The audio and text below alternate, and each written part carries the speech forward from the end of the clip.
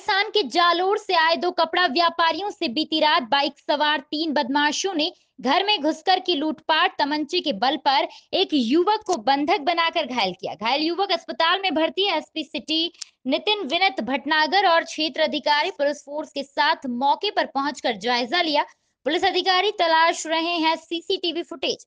सहारनपुर के थाना नगर कोतवाली क्षेत्र के किशनपुरा की घटना।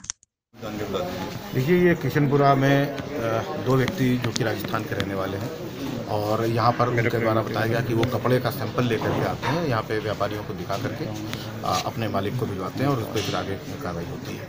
तो इनका कहना ये कि आज ये लगभग साढ़े चार बजे आए और उसके बाद मार्केट में चले गए थे। जब लौट के आए हैं तो इनका कहना है कि इस घर में जहाँ रहते हैं, यहाँ पर कुछ लड़के घुसाए और उन्होंने इनको मार के मार पीट के और इनसे कुछ पैसा वैसा छीन लिया है।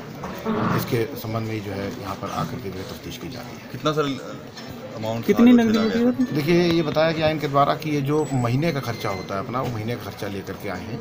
और जिसका वो लगभग अट्ठारह बीस हज़ार रुपया वो उसकी कॉस्ट बता रहा है कि उसके पास था।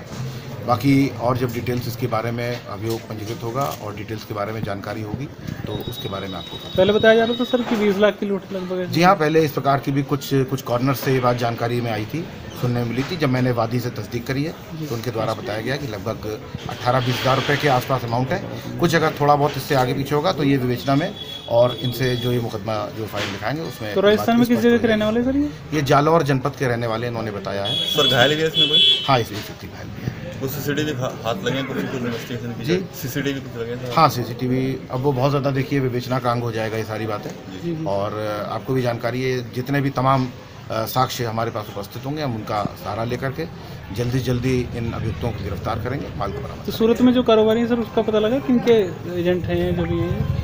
देखिए उनसे वार्ता हुई है इनकी बात बात हुई है। उनका कहना है कि वे भी आ रहे हैं यहाँ पर। अच्छा क्या नाम है सर उनका? कुछ पता लगा? उनका नाम संभवतः श्याम जी बताया गया है। ठीक सर थैंक